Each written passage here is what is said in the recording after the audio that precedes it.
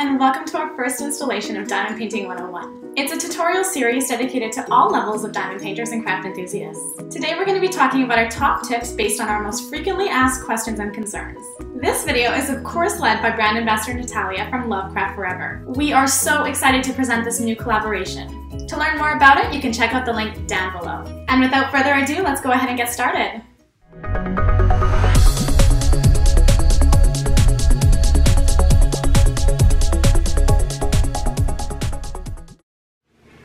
Everybody. Welcome to Nataliya's video with Dreamers Designs. And for today's video I will have some tips and tricks for you followed by tutorials. Uh, for this example for today I will use this gorgeous gorgeous canvas by Anne-Marie Bone my favorite artist when September ends. And I think this is a beautiful beautiful canvas. So let's hop into our first tip for you.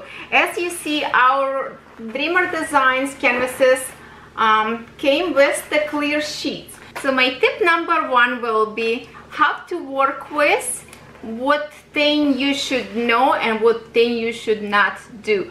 And let's hop in right into our tutorial. So we have from Dreamers Design canvases that will be rolled for you when you receive them. So obviously you need to straighten up their, them first. So what I suggest for you first to do is to lift it up a little bit of one side of the canvas halfway.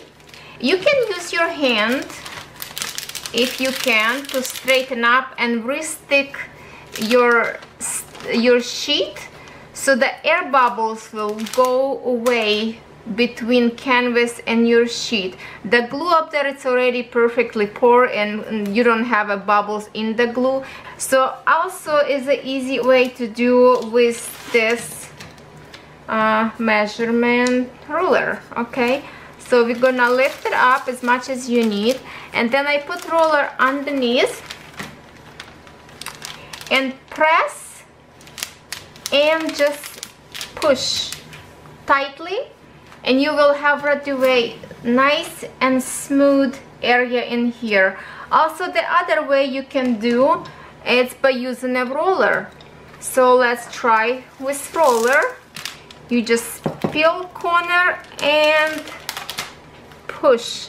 And you just push in each way and the air will coming out and the roller will, will press your clear sheet really really tight. And you can do um, or this way or this way doesn't matter. And now the other thing is important. You need to remember about clear sheet that it has a right side and left side usually. I call a right side that is up and wrong side which is left side will be the one that inside that cover your glue so from time when you drill in and your canvas start to fill in with the drills and for this example I'm gonna show you canvas that I'm working right now okay? Um, I already done this side. It's gorgeous. And in here um, because I'm working by the colors lots of colors already here done so what happened in the sheet getting barely sticky anymore to this stuff, right? So in some point it will come out and slide out or even fall on the floor, you know, if you're not careful, if you have a pets around, and you want to keep this clear sheet all the time on your diamond painting because there's always something in the air and if you have a pet the, the fur obviously will fly all the way around. So right side which is up always will be filled with little bit of dust uh, maybe some hair fur fibers from your clothes. So this side we want to keep it always up and mistakenly not to place the other way and then all those fibers will go on your glue so I have to fix that and have to know which side is your right or left side. We will do a little tiny trick okay? Just grab any stickers that you have like from uh, scrapbooking uh, if you are card making you can simply go to a dollar store and just uh, purchase any stickers. And we're just gonna place them let's say right on the top of corner in here.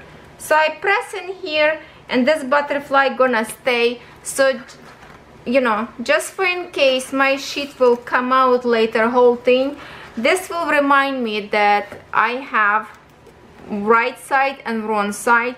So the this top cover never gonna be flipped upside down. So this way you will always remember tip number two what to do if you receive canvas and sometimes edges would fray away and could be possible stick into your glue canvas. Um, and this goes to any canvas actually. Also don't forget that this is kind of fabric right? So when you cut any fabric you have to take care of those edges. Otherwise they will fray time you know when times go by so we will address this issue and this is so easy fix you wouldn't believe it. So let's hop into it. A little bit earlier today I did already fix one side here on the bottom and as you can see well you can't really see which is good part that you cannot see it's mean nothing wrong happened with your canvas okay? But how we gonna fix this I'm gonna show you. I have here I put board under uh, because I already kind of flatten out this um, canvas a little bit better. So now it's laying flat this side because plus it's fixed already. Um, and this side still a little bit curled up so it will be perfect for me to fix it because I don't want this to touch any surface and have a chance to stick. So I'm gonna put this board more to the side and put a little bit on the edge of the table. That's how you can do an edge of the table or something underneath that will bring your canvas a little bit up so it doesn't stick to, to any paper under. What I do first, I have a little brush and I just brush off the edges there might be those little fibers sticking out the way uh, company uh, factory cut them sometimes little bit didn't fall out and it's still attached to your canvas but when you drill it's coming out and sometimes sticking to your glue. So we want to avoid that and we're gonna fix it. So I'm just brushing off all this stuff and I already can see that some bits uh, in here on my paper came out okay? Simply you can go to the store and just buy this glue which is E6000 Fralock for if you are stitching you are using your sewing machine and you would usually use this glue in your sewing projects and it's Fralock flexible clear and you, you're not gonna see it. But it's not um, as cheap as well. So I have a better for you solution to to do something different besides this glue. You can have simply a gallon of glue which I have here as my little girl like to do slime. So I do not find any little bottle. But you can if you have a students in your household little kids they always have school glue. Um, so what I did in here I pour a little bit of this glue and this glue is thick. So I put a little bit of glue in my little cup and I added water to mix almost I would say almost like uh, close to 50-50 so I can have kind of like a milky runny consistency. So what we wanna do we're gonna have these edges sealed.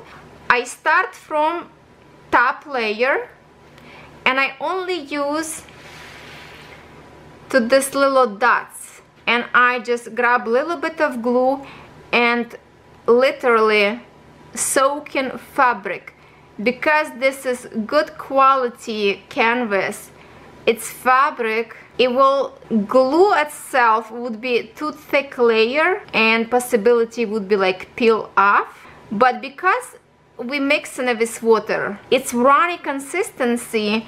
It will soak through your canvas and seal all those fibers.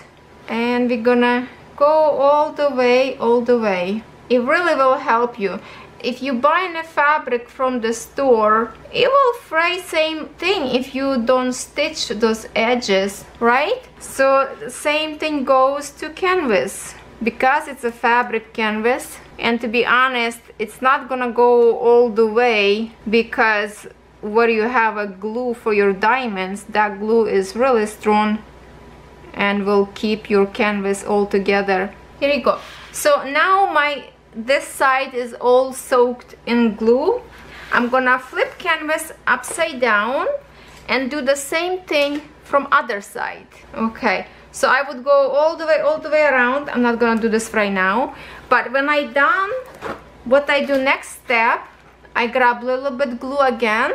And and then I just like push those edges into it like just a top it right on the top to make sure those fibers not sticking out. This will definitely help you to stop fabric is coming out those little pieces in bits. So I think this is good tip for you guys and as I said already I did fix this side and it's holding good now there's no no fabric is coming out it's perfectly fine so i hope you enjoyed this tip and it will be helpful for you. So just go all the way around do all the corners and you're all good and set to go.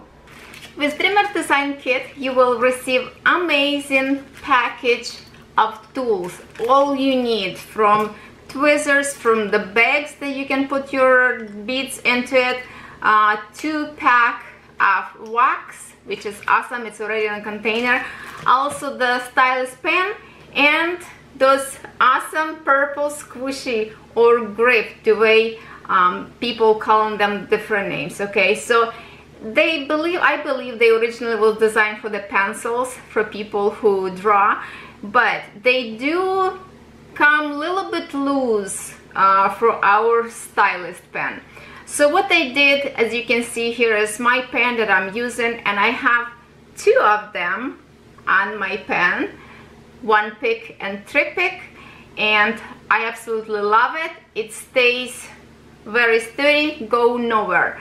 So let's hop into our trick and tip number three and I will show you how to do this. Okay guys let's fix some tools. So what I did in here I glued two of them on one pen my the most favorite that I like to work with. Your preference always welcome you know which one uh, pieces you wanna put. I have here one and I have here three bead picker.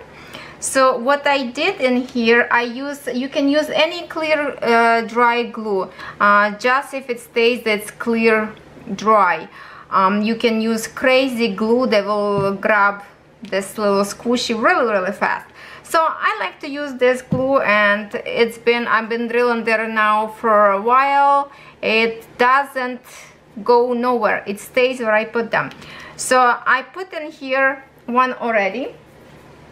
Uh, what I did uh, before you put the other one on it you do not place your picker first till you put your grip on. Otherwise you're not gonna be able to do if you did this side first. I would just drill with one then I see three bead go line up I just flip it and I go with three. So it's kind of quick drill quick tip for you. So let's do it. I have here this clear glue. I'm gonna use toothpick just so I can get all the way up there.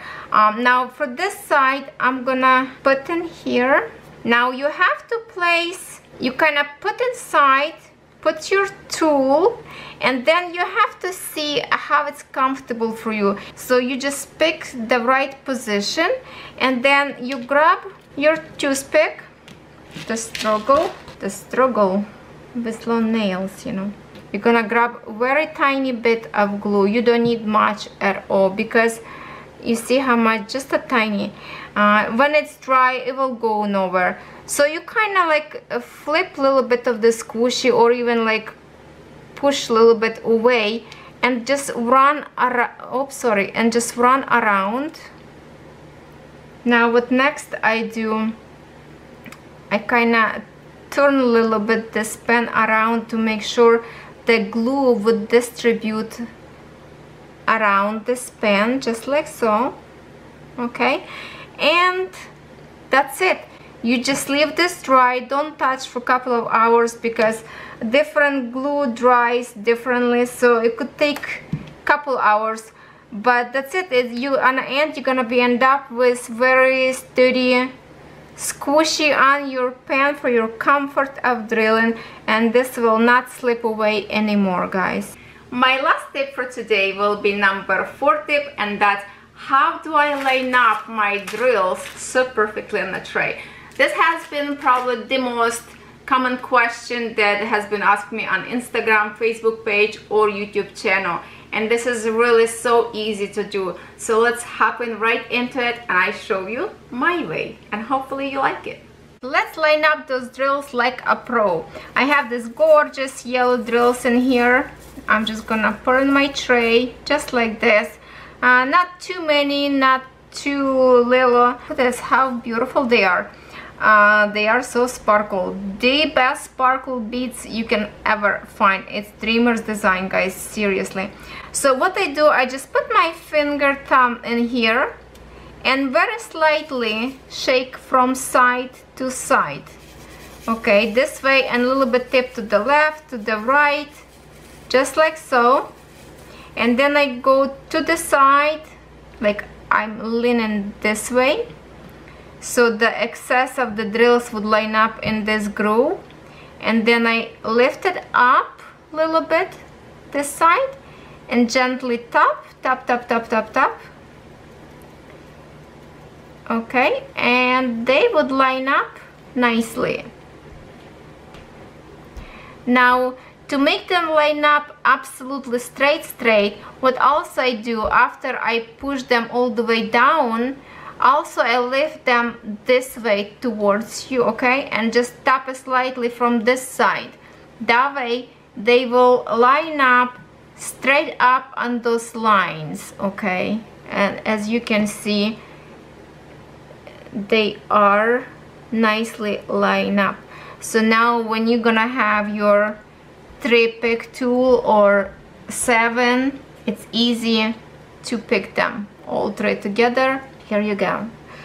And then the other way how you can do this and maybe even easier way for you to do just to close and shake it this way.